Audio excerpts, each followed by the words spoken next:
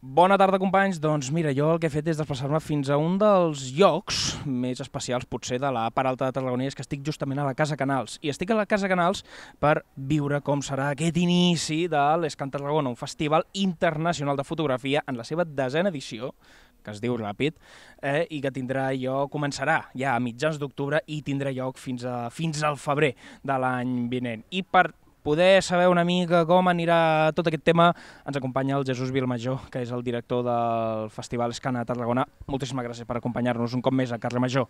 Gràcies a tu per convidar-nos aquí.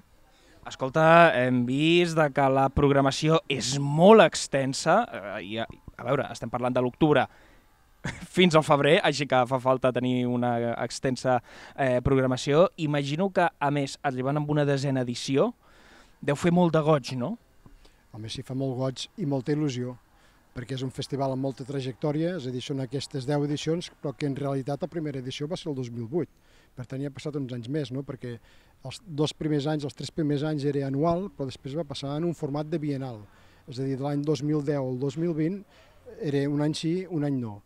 I l'any passat vam recuperar eh, doncs, el que era el festival als inicis, que el festival fos anual i per tant en aquest sentit fa molta il·lusió, però també fa molta il·lusió eh, a tall personal doncs, per poder tenir l'oportunitat de contribuir en aquest festival d'una manera doncs, important, eh, ajudant-lo a construir. No? I per què? Doncs perquè jo d'alguna manera succe succeeixo doncs, eh, dos grans figures del món de la fotografia aquí a Tarragona, com són Chantal Grande i David Balcells, que van ser en els, des de l'any 2010 fins a l'any 2020 els impulsors aquí del Festival Escan.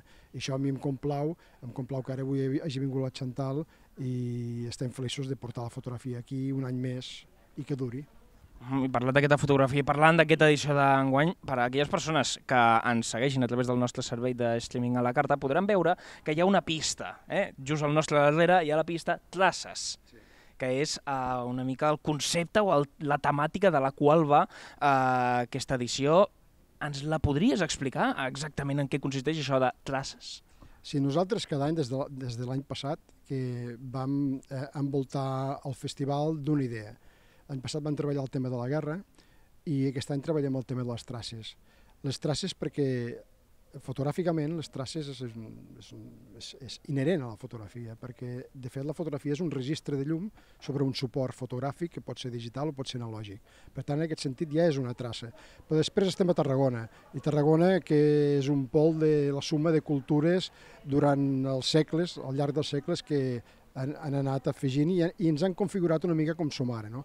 I també volem parlar de les traces que han deixat aquestes cultures doncs, a la Tarragona i a la Mediterrània i aquestes traces d'enguany és una mica la nostra estrella polar. Al voltant de les traces construïm tota la programació.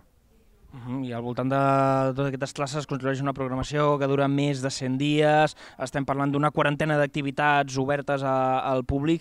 I també parlant d'aquestes activitats, al cap i a la fi la persona que ara mateix ens escolti, eh, imagino que l'aficionada a la fotografia o que sigui fotògraf professional li podrà interessar, però per exemple hi ha persona que potser no és tan un gran aficionat a la fotografia, també hi ha activitats dedicades a ell o també estan obertes per ell?